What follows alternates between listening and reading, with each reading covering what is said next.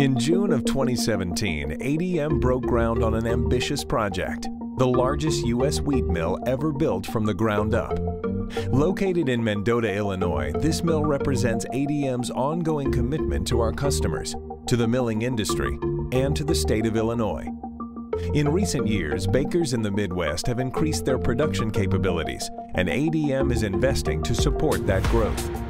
With significant grain storage capacity and the newest processing technology, ADM's Mendota mill can produce up to 30,000 hundredweights of flour per day.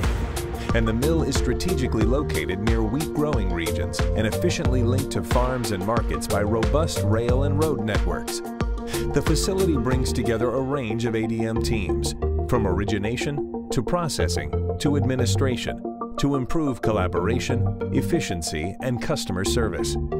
Some of the highlights of this world-class flour mill include the flexibility to grind spring, winter, and soft wheat varieties, as well as two types of whole wheat.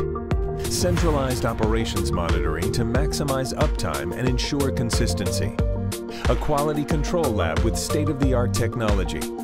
A high-speed packaging line. And a 30,000 square foot warehouse that can load three van trailers at once.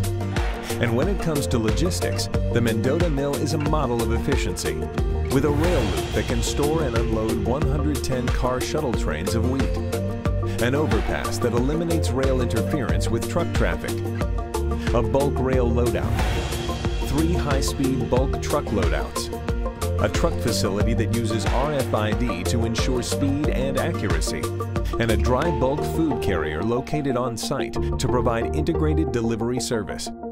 These are just some of the highlights of this amazing new facility.